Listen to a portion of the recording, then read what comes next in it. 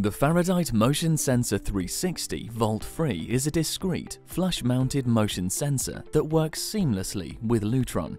Available in white and black, the Motion Sensor 360 Volt-Free is well suited for a broad range of Lutron installations. The sensor provides a 1-second pulse on detection of motion which can be configured in Lutron Designer to provide great lighting automation in your Lutron project. In this video, we will explain how to connect and configure the Faradite Motion Sensor 360 Volt-Free with Lutron. To begin with, let's take a look at how to wire the sensor to a Lutron system.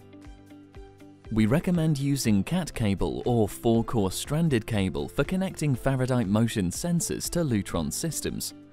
If using a stranded cable, insert the SIM card remover tool into the hole above the cable termination to open the spring-loaded connector. Insert the cable, then remove the SIM card tool. This will prevent the stranded cable bunching up on insertion. The first connection example we look at is connecting the volt-free output of the motion sensor directly into the back of the SeeTouch keypad.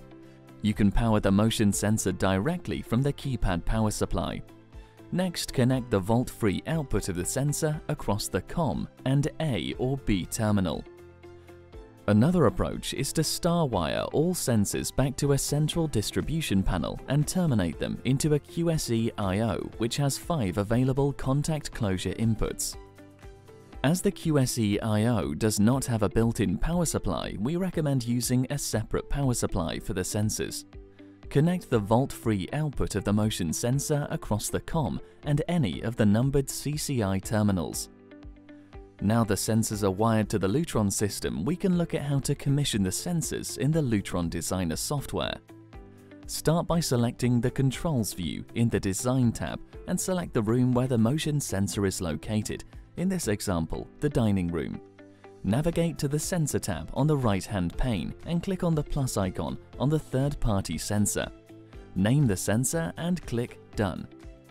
Next, we must assign the PIR to the physical contact closure input.